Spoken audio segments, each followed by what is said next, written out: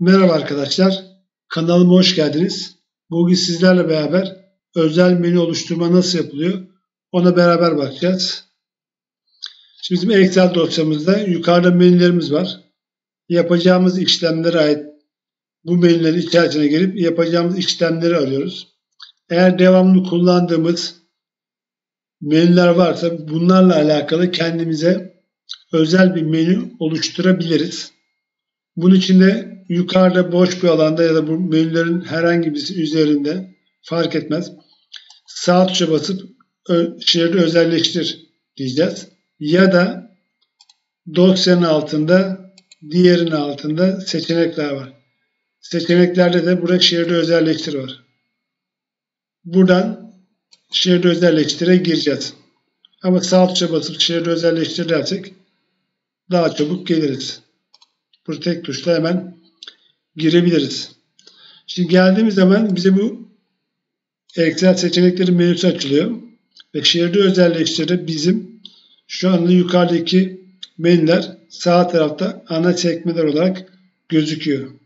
Biz şimdi burada giriş Excel dosyasında giriş menüsü açık olduğu için gördüğünüz gibi burada giriş menüsü koyu renkle ve altında da oradaki özellikler var.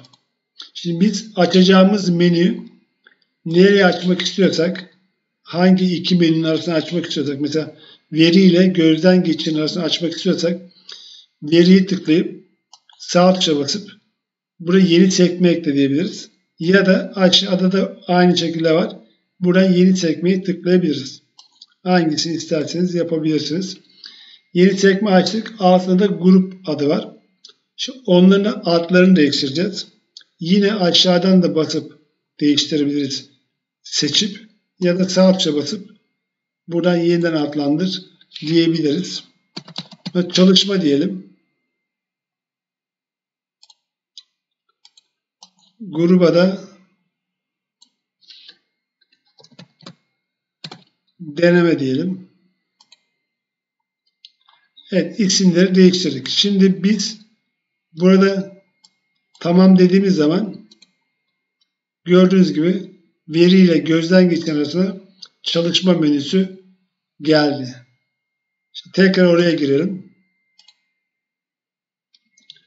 Şimdi burada bizim yine giriş sekmesinde olduğum için orası geldi. Şimdi bizim burada çalışmanın altına kullanacağımız fonksiyonları atmamız lazım. Mesela de, burada denemeyi seçiyoruz.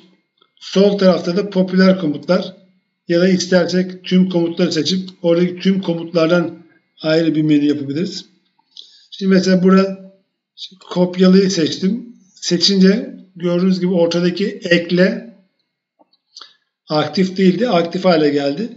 Ekle diyerek sağ tarafta seçtiğim denemenin altına kopyala geldi. Kesi seçtim. Attım. Bir tane daha atayım. Biçim boyuncusunu da atalım. 3 tane attım. Ve tamam dedim. Şimdi çalışmaya geldiğim zaman gördüğünüz gibi attıklarım burada. Bu. Bunlar ayrı ayrı menülerde olabilir. Hepsini girmektense kendi menümden buradan seçip daha hızlı işlemlerimi halledebilirim. Şimdi tekrar girelim. Şeridi özelleştire.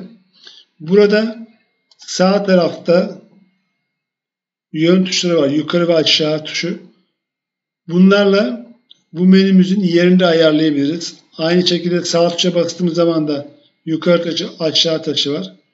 Bu şekilde yukarı taşıyıp girişten sonrasına getirebiliriz.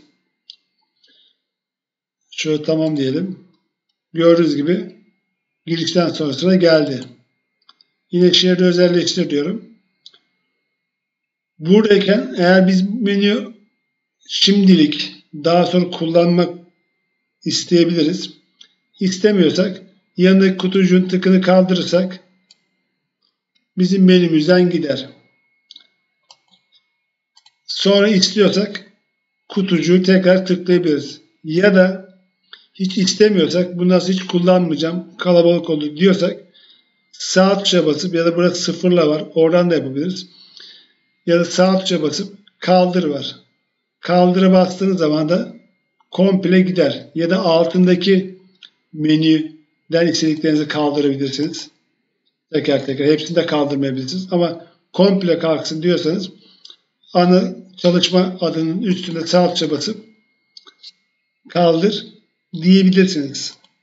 Aynı şekilde burada sol tarafta popüler komutlarını attık. Burada tüm komutları seçip Excel'deki tüm komutlardan bir menü oluşturabilirsiniz. Ya da burada makrolar var. Eğer oluşturduğunuz makrolardan bu dosyada kullanacağınız varsa, bu dosyada oluşturduğunuz makrolar varsa burada da bu makroları seçip buraya oluşturduğunuz makrolar gelir ve bunu da istediğiniz menünün grubun altına atıp kendi menünüzün altında şuraya getireyim. Buraya makrolarınız buraya da gelecektir. Tekrar gidip işte makroları bul çalıştırmadan ziyade burada makrolarınızı kolayca kullandığınız makroları buraya getirirseniz istediğiniz makroyu daha rahat ve daha hızlı bir şekilde işlerinizi halledersiniz. Kanalımı seyrettiğiniz için teşekkür ederim. Abone olmayı ve beğenmeyi lütfen unutmayın.